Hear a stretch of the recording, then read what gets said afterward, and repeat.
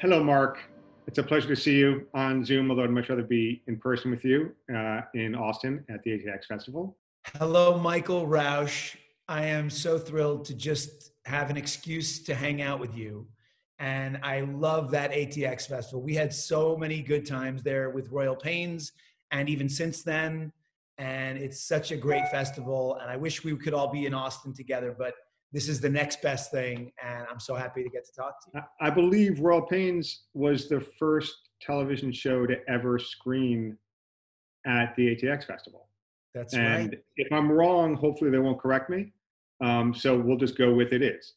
Okay. Um, yeah. And speaking of Royal Pains, um, I thought that uh, that we could start talking about basically because we've known each other for a long time as friends before the show came about, um, and and our working together in a way wasn't about our friendship or wasn't about us saying let's do a show together or since I wasn't even a part of the pilot, um, the show that Andrew Lenchewski created and that you starred in the pilot uh, was its own thing before I even kind of joined the family. So um, maybe talking a little bit about about what it was like for you um, who predated me on the show uh, for us working together for the first time and and kind of being lucky enough to come on board and be a part of of uh, Royal Pains.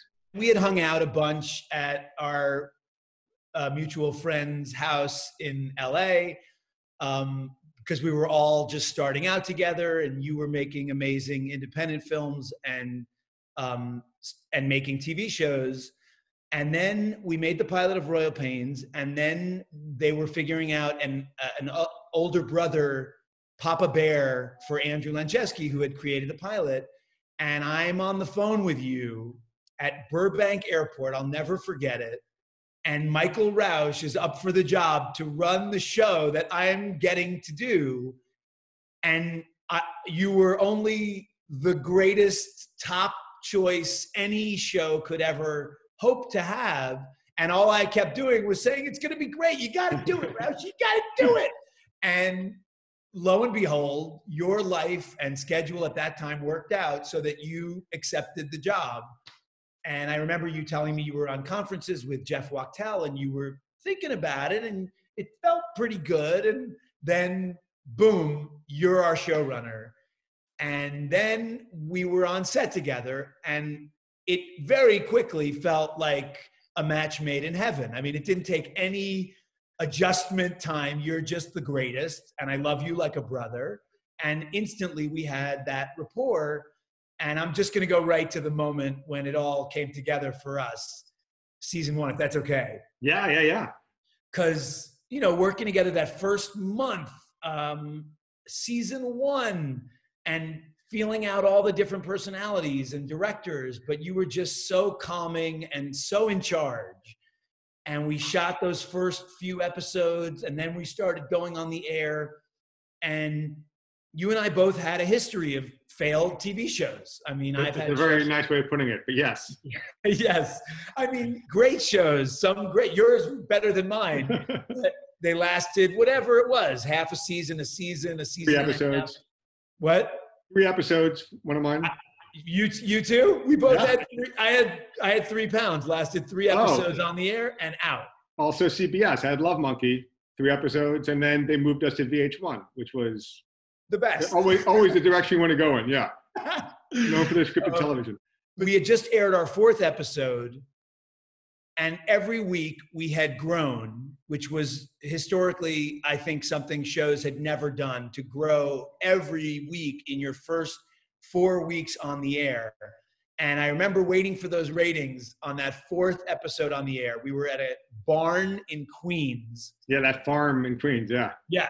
And you shared with me that our ratings were again awesome that we were like neck and neck with burn notice which was an established hit so we knew at that moment that we were no longer living the life of our other shows that had not gone the distance that we might or pretty much were guaranteed to get a season two and we just high-fived and hugged behind that barn and I'll never forget it because that's a moment only you and I could share. having been in the trenches. We were not some innocent 25 year old kid who everything came to right away. We had been through battle and here we were. And I, it was the greatest.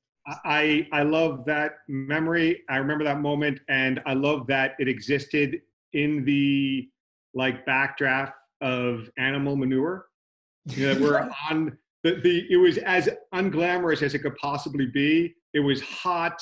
We were both yep. sweating we were standing in dirt and it was actually not one of our best episodes. We were in the middle of shooting with the cartoonist. It was yeah. fine. It was great. Everybody was great in it but but that moment and, and absolutely the, the recognition the realization for us that this was going to go on and have some longevity and how meaningful that was.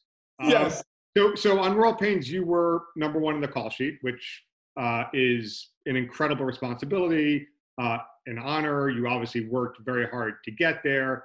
As someone who runs a show, number one, in a way, is is uh, transcendentally important because if they're not professional, if they're not on time, if they're not a good person, if they're not respectful, if they're not kind, they're basically giving permission to everyone else to act out in some way.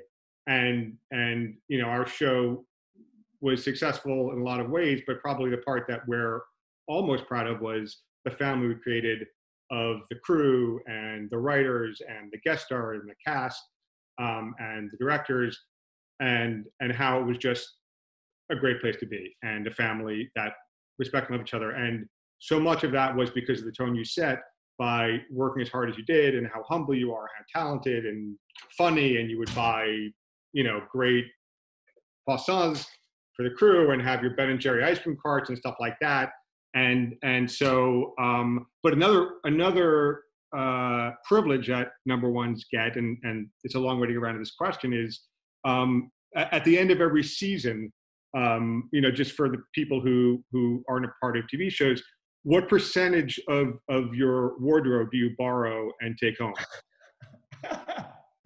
That was an amazing tribute followed by an hysterical question I love you. So I just just to let the public know, just out of, I mean, yeah. it wouldn't be like garbage bags full of clothes that, oh. that you just the last day you're walking home with, right? Oh, a pair of Hanes. Yeah. Okay. underwear. Um, first of all, uh, thank you for everything you said. I just, I, I don't, I know we have to keep in check the Mutual Admiration Society because it will get nauseating. I don't admire you that much. Okay, so you, you do, you do think about me every night. But uh, I couldn't be everything that you say I was without you. You took, you were our Papa Bear. You were the adult in the room every day of that show. And you dealt with all the hard questions and all the hard conversations, which freed me up to have fun every day and be a pig in shit. And it's all because you were so good at what you did writing, directing, show running, managing people, every aspect of that job where you have to be a renaissance man, you knocked out of the park. So I won't take it without giving it right back to you. And okay. as far as wardrobe wardrobe goes, uh, yeah, gar- garbage bags. What's amazing is that, is that I kind of knew the answer to the question um, and and both for budget reasons, but also just as as a you know a curious person, you borrowed a significant amount of incredibly beautiful clothing that Caroline Duncan, our wardrobe, you know, so so talented, um, found for your character that was tailored to fit you perfectly. And yet, I've only ever seen you in the same T-shirt and shorts. So, did you sell it? Point. Did you give it away? What like? What eBay, you, eBay, is, eBay is an amazing website. Uh, I now have my own eBay channel. Uh, we got um, we got schmatas flying in, flying out. I love you. I love talking to you. I only wish we could do this together on stage next year in Austin, as we Jews say. Um, and uh, and I I miss you. I miss the festival. I miss Emily and Caitlin. I miss everyone who shows up and loves this festival and loves TV, loves to make it, loves to watch it. and uh, and so this is the taste for for June for us this year. But but I'm really glad uh, I got to do it. And I, I will say that that would be heaven. I would do it in a heartbeat. I'd make a date. I'm there next year. Would would love to talk to you, Roushi and Emily, um, anytime. But again, the feeling of kumbaya on the set of Royal Pains is also the feeling of the ATX festival. And we would say elegantly it trickles down from the top, or as a Teamster might say it, the fish smells from the head. And the heads of the ATX festival are just the best. And uh, we're so, I'm so grateful to be uh, a part of it and to have done this with you today, Roushi. See you. Thank you. Thanks for watching. Thanks, Thanks. Emily, Caitlin. Okay. All right. Bye bye.